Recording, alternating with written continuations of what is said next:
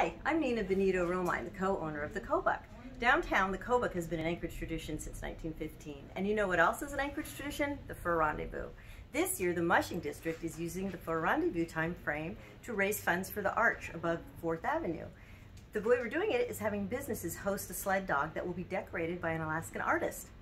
We're looking for 14 businesses and it's first come, first serve. If you'd like to host a dog in your place of business, please contact me at kobukco at alaska.net or at 272-3626. I'll look forward to hearing from you.